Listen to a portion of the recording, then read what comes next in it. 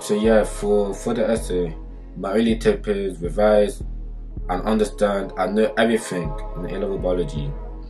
uh, I'm talking as if that's so easy, man. YouTube, what it do?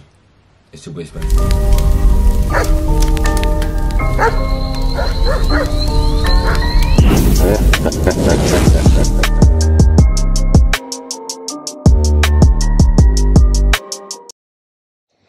Alright, today I'm gonna be telling you guys how you can get an A star in A level biology. So first of all, right, we all know that A level biology there's a lot of content that we have to cover, right? Like hella, hella content, bro. Lampeso is one of the, it's one of the like, it's one of the A level subjects with the highest amount of content that we have to learn.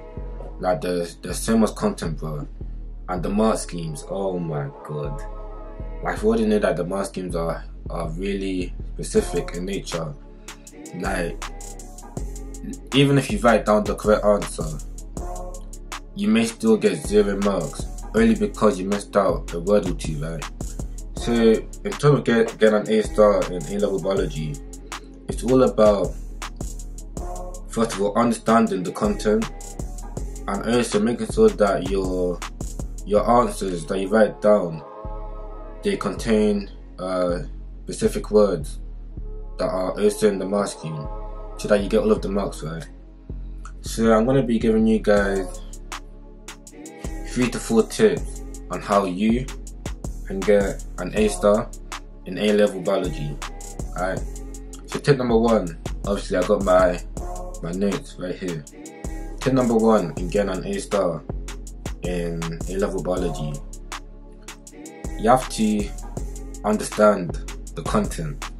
Now this is obviously you guys might think that this is a cliche tip, like it's a simple tip but with biology it's very it's very very important because in biology especially in A levels because AS I'm not gonna lie to you guys AS biology is easy it's easy I told you it's easy AS biology if you're finding that difficult just wait till A level A2 bro because AS biology is easy G.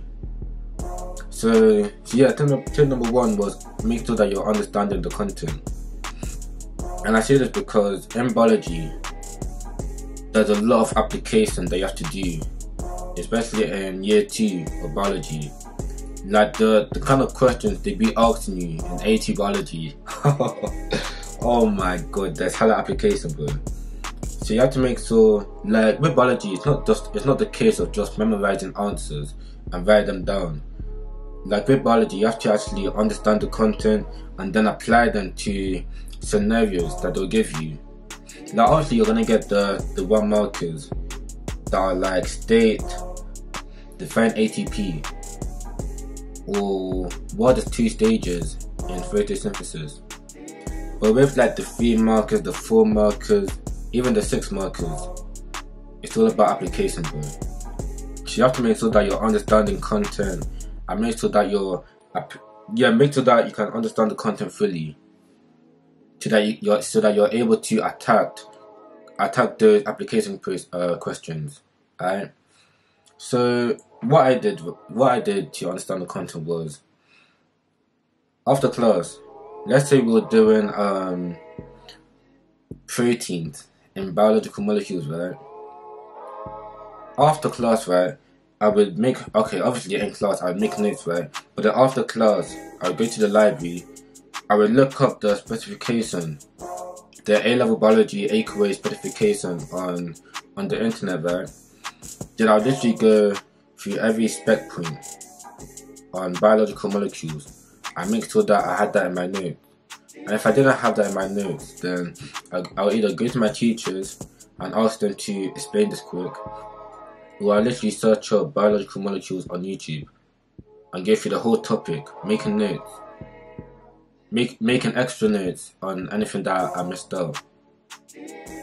With biology, you can't leave anything to chance. You have to make sure that you understand the whole specification.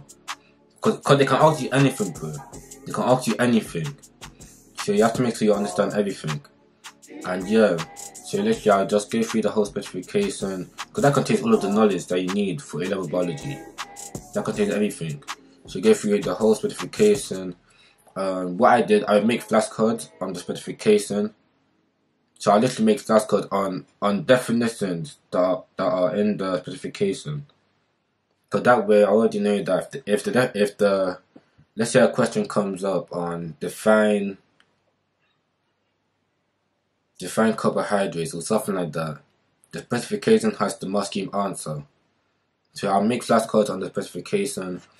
And yeah, that's tip number one. Make sure you understand the content, bro. You have to understand it. Alright. Tip number two. So, as I said before, right, most games are very, they're very uh specific, right? So, what I did to counter this was Obviously, you, obviously you can't miss out a word or two, otherwise you're getting no marks. So what I did to counter this uh, was right. I basically so after the topic, right, after we covered the whole topic, not just a subtopic, but the whole topic, I would do exam questions on the topic. I'll do I'll do exam questions. I I actually had um a bank of like all of the past exam questions ever ever put into an exam paper by AQA. Like I literally have all of the past exam questions uh, from AQA since 2014 all the way up to 2021. Obviously I sat my A level 2022. So I literally had all of the exam questions uh, from 2014 to 2021. And after every topic that I did, I would do all of the exam questions on that topic and and put them into my flashcards. Because there's only so much they can ask you with biology, right? They can't ask you something new each year. So as I did the exam questions, I would put them into my flashcards. So that way, I, I always have the mark scheme answer. I would I literally so on the front of the flashcard, I, I'll write down the question along with how many marks the question was. So let's say the question was the let's say the exam question was describe the the light dependent reaction of photosynthesis.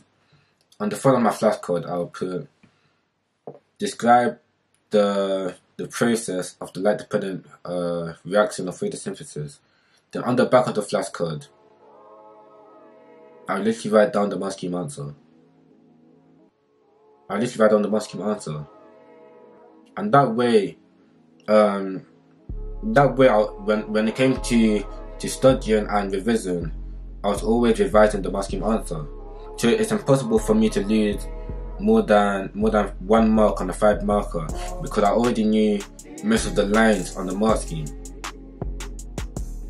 So yeah, do exam questions and incorporate them into your flashcards. Make flashcards on exam questions that you've done along with their schemes and you still be good, bro. You still be good. If you want the the full bank of exam questions, by the way, by the way, I have them for every subject, even economics and history. If you want the full bank of exam questions from 2014 all the way up to 2021, uh, DM me on Instagram at Kameni underscore, and I'll send them to you. You know what I'm saying? At price, obviously. Gotta monetize that. You know what I'm saying? So yeah, man, that was tip number two. Do exam questions and incorporate them into your flashcards. Alright. Tip number three. So in biology, well, not really in in year twelve, but in year thirteen, you'll see that practical skills are very very important. So what I mean by this is that you have to know all of the required practicals so there's eight. You cover four in year 12 and four in year 13. And AQA likes to ask a lot of questions on practicals. Like make sure you're actually paying attention to when the teacher is teaching you practicals because AQA loves to ask questions on, on required practicals. So make sure that um, you're understanding and you're paying attention in class when te- when you're doing uh, required practicals, like really understand the method that you're doing and understand the safety precautions that you're also doing. because AQA like to ask a lot a lot of questions under.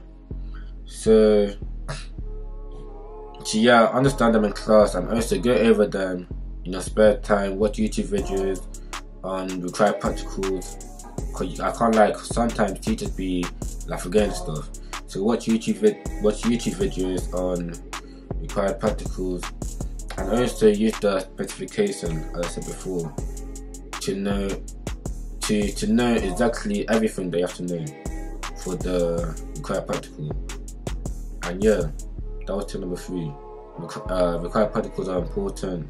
Make sure you go um, over all of them. And yeah, G. Tip number four. Just the last tip, right?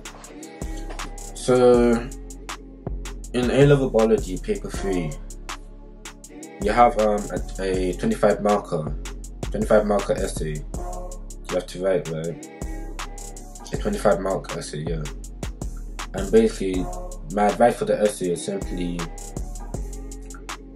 so the essay targets both your depth and breadth in subject knowledge.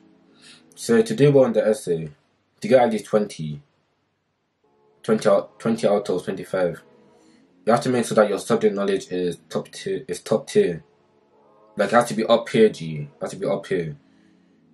So you have to make sure that you you understand the whole spec of A level biology. Not everything.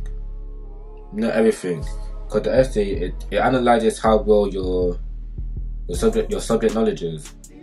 So yeah, for for the essay, my really tip is revise and understand and know everything in A level biology. uh, I'm talking this, that's so easy, man. But yeah, you have to understand the whole biology, biology if you want to do well in the SAG. Alright? Because the essay, it targets both, as I said before, your depth and your breadth in subject knowledge. You have to make sure that when you're writing the essay, you're targeting as many areas of the specification as possible in order to get in order to get at least 20 out of 25 and yeah those were my tips for for A-level biology a level biology is mostly application to be honest. So if you wanna do well, it's all about understanding the content and doing and doing um exam questions. Alright. Like I always say at the end of my videos to you, if you grind, you'll succeed. If you do nothing, you'll stay the same G. Alright? Let's kill it.